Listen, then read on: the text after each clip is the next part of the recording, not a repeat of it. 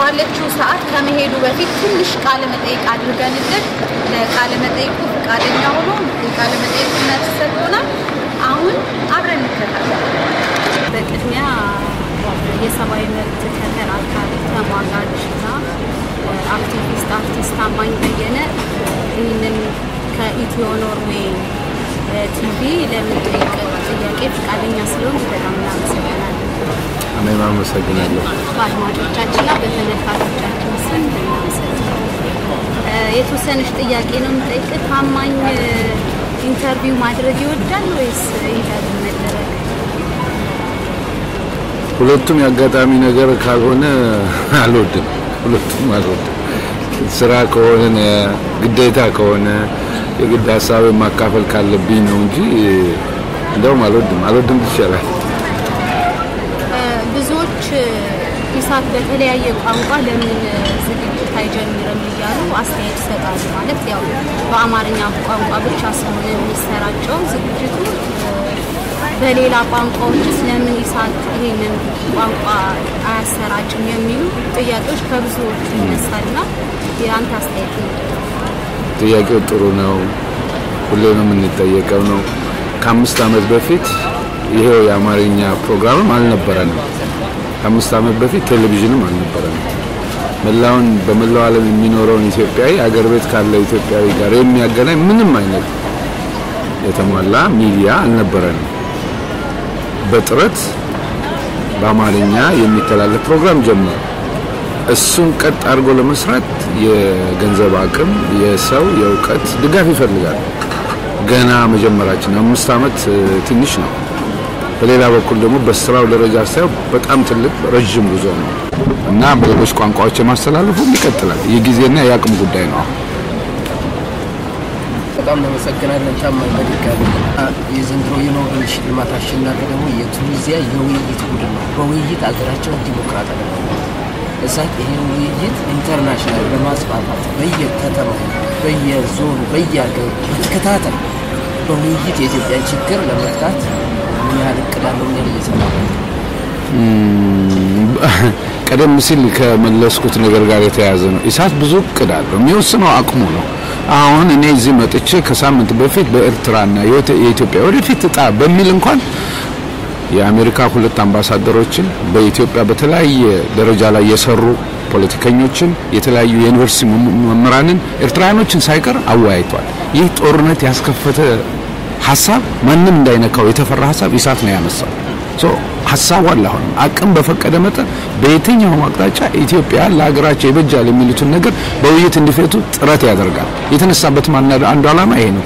እንደ ሀያ አንደኛው ክፍለ ዘመን ህብረተሰቡ የተለያየ አመለካከቶች ማየት እንዲችል ነው የዚህ ሜዲያ መከፈት ዋና ምክንያት። ስለዚህ ይቀጥላል፣ ያደርጋል።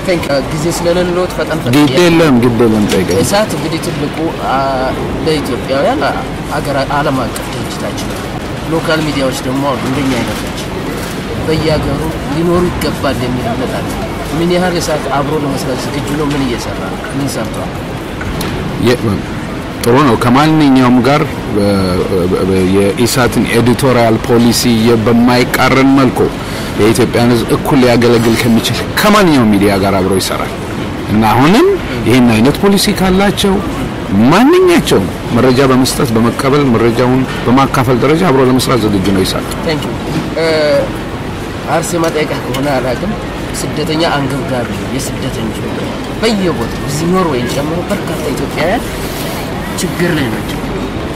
ምንም መንገድ መሄጃ ቀዳል አይደላቸውም እና ኢሳት ይህን ስራዬ ብሎ በተከታታይ ፕላን አድርጎ እየሰራ ነው እናስባለን። እንዳልኩ ኢሳት በራሱ ጥረት ገዘፈ እንጂ አቅሙ በጣም ትንሽ ነው። በውስጡ ያሉትን ሰራተኞች እዩ። ሰባት ቀን ዜና፣ ሰባት ቀን ፕሮግራም መስራት ለአንድ ሚዲያ ሚዲያ ውስጥ የምትሰሩ ሰዎች ታውቁታላችሁ። ሰባት ቀን ሙሉ የሚሰራ ይሄ በጣም በተወሰኑ ሰዎች ነው። እንግዲህ ትልቁ ደግሞ አቅጣጫችን ኢትዮጵያ ውስጥ ያለውን ውጭ ያለውን እንደምታውቀው ከሳውዲ ጀምሮ ያለውን ነገር የራሱን account በመስጠት ከራሱን ከሰበሰባት እየቆነጠረ እርዳታ በማድረግ ኢሳት ይታወቃል። ስለዚህ በየትም አገራት የኢትዮጵያ ስደተኞች መብት እንዲከበር ይህን ከሚመለከታቸው ከተባበሩት መንግስታት ሳይቀር ከነ ግሎባል አላያንስ ጋር ሳይቀር የሚሰራ ነው ኢሳት እና አሁንም የስደተኞች ጉዳይ የማንኛውም አንድ ዜጋ ችግር ኢሳትን ያሳስበዋል። እንደ ራሱ አድርጎ ነው የሚያየው። ታስታውሱ እንደሆነ በኢትዮጵያን ሊቢያ ላይ በታረዱ ጊዜ ብሔራዊ ሀዘን ያወጀው እኮ ኢሳት ነው ከመንግስት በፊት ለሶስት ቀን። ስለዚህ ኢሳት በማንኛውም ዜጎች ላይ ለሚደርስ ነገር ግንባር ቀደም ነው። ከሚዲያ ያለፈ ስራ እየሰራ ነው፣ አቅሙ ትንሽ በመሆኑ ካልሆነ በቀር። አመሰግናል። የመጨረሻን ጥያቄ ከዛ ወደ አርሴማ። የመጨረሻው ጥያቄ ምንድነው? ቅስቀሳው ምን ላይ ነው ያለ? ዲያስፖራውን ሳናቋርጥ በየቀኑ በየመዋቀሩ ከታይ ጀምሮ በተከታታይ ቀስቅሶ ተሳታፊ ማድረግ እሳትን በመደገፍ ሊሆን ይችላል፣ የተለያዩ ድርጅቶችን በመደገፍ ሊሆን ይችላል። በቂ ነው ወይ? የት ነው ያለ? ከዚህ ጋር አብሮ የሚሄደው የዛሬ ሶስት ዓመት እሳት ሶስተኛ ዓመቱ ሲያከብር ወስሎ ላይ እሳት አልጀዚራ ይሆናል ተብሎ ነበር፣ ሆኗል። የዛሬ አምስት ዓመት እሳትን የት ነው የት ይደርሳል? አመሰግናለሁ። በእኔ በኩል ጨርሻለሁ። ኢሳት አልጀዚራ ይሆናል የሁላችንም ህልም ነው። ይሄ ግን በእያንዳንዱ ሰው ተሳትፎ የሚመጣ ነው። ኢሳት ውስጥ ያሉ ጋዜጠኞች፣ የቦርድ አመራሮች፣ ሌሎችም ሰራተኞች ህልማቸው እሱ ነው። እያቅማቸውን እያደረጉ ነው። ኢሳት በያዘው መንገድ መረጃው ደርሷቸው እንደሆነ አላውቅም። የኢትዮጵያ መንግስት እኮ በአመት 1.55 ሚሊዮን ዩሮ ከፍሎ ነው ከሳተላይት ላይ እንዲወርድ ያደረገው። የኢሳት ሰራተኞችን ኮምፒውተር አንድ ሚሊዮን ዶላር እየከፈለ ነው የሚያሰልለው። እንዲህ አይነት ትግል ውስጥ ነው ያለው ሰና የህብረተሰቡ ተሳትፎ ወሳኝ ነው። ኢሳት ብቻውን ተነስቶ ወደ ላይ ሊወጣ አይችልም። የእያንዳንዱ ተሳትፎ ካለ የዛሬ አምስት ዓመት ሳይሆን የዛሬ ዓመት አዲስ አበባ ትልቁን ስቱዲዮ የመክፈት ሀሳብ አለው። ጥያቄው ግን በህዝብ የተወሰነ ነው፣ ብቻውን የሚሰራው አይደለም። በዚህ ሂደት ውስጥ እንቅፋቶች አሉ፣ መውጣት መውረድ አለ። በውስጡ ያሉት የኢሳት ሰራተኞች ወስነው ነው እየሰሩ ያሉት። እዛ ጫፍ ሳንደርስ አንቆምም ብለውና እንዳልኩህ የእያንዳንዱ ሰው ተሳትፎ ይወስነዋል፣ የኛ ብቻ አይደለም። እንግዲህ ከታዋቂው አርቲስትና ጋዜጠኛ ታማኝ በየነ ጋር ቃለ መጠይቅ በማድረጌ በጣም ደስ ብሎኛል። መልካም እድል። አመሰግናለሁ። አመሰግናለሁ። በኩል ጨርሻለሁ። አርሴማ ካለ ትቀጥላለች። ታማኝ የምታቀርባቸውን ዶክመንቶች ያለህን ነገሮች መረጃዎች ሁሉ እኔንም ጨምሮ የሚያይ ሰው ሰውየው የመረጃ ቋት ነው ይላሉ። እንዴት ታየዋለህ? እንትኑ ላስተካክለውና ቅድም ከታዋቂና ጋዜጠኛ ናት አርቲስት ታማኝ ብለኛል። የኔ ማዕረግ ታማኝ ነው። አቶ ታማኝ ብቻ ነኝ። በተረፈ አንቺ ላነሳሽው ከልጅነት የምወደው ነገር ስለሆነ ያገኘሁትን ስለምሰበስብ በዛ ምክንያት የተቀመጠ አንዳንድ ጊዜ መረጃውን በአግባቡ ስጠቀም ብዙ ያለኝ ስለመመስል ነው እንጂ ይኸው ነው። ምንም የተለየ ነገር የለኝም። ለነበረን ጊዜ በጣም አመሰግናለሁ። ጊዜን ሰውተህ እንድናነጋግር ስለፈቀድክልን እናመሰግናለን። እግዚአብሔር አምላክ ነጻነትን የኢትዮጵያን ነጻነት አሳይቶ ለሀገር እንድትበቃ እመኛለሁ። በጣም አመሰግናለሁ። ሻይ ቀዝቅዟል። ትከፍሏታላችሁ እናንተ አሯሩጣችሁ በመግቢያ ሰዓት ነው ይሄን ያደረጋችሁት። ስህተት ካለ በሩጫ የተደረገ መሆኑን ለተመልካቾች ግለጭልኝ። እግዚአብሔር ይስጥልኝ።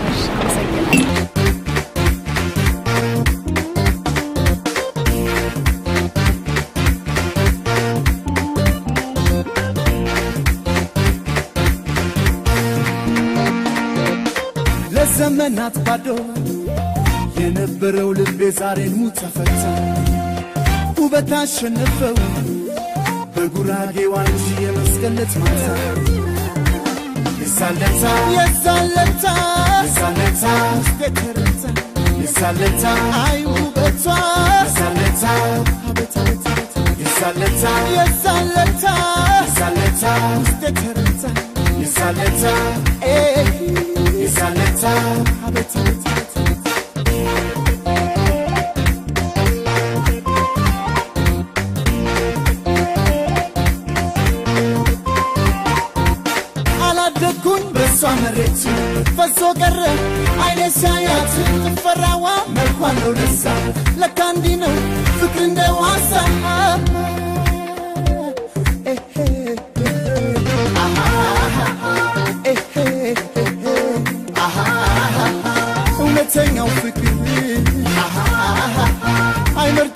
waserii sullaabaan shikiiwatee nayili gidibetee nagidibetee nagidibetee nagidibetee